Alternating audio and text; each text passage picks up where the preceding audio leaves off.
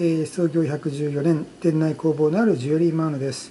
今朝の早朝板紙では、えー、明日東京マラソンが行われますので雷門の絵を描きました。そして出場される皆さんとこの合作になりましてね、えー、ご自分のプライベート記録を目指せるようにということで目指せ PB ということで書かせていただいてます。明日出場される皆さん、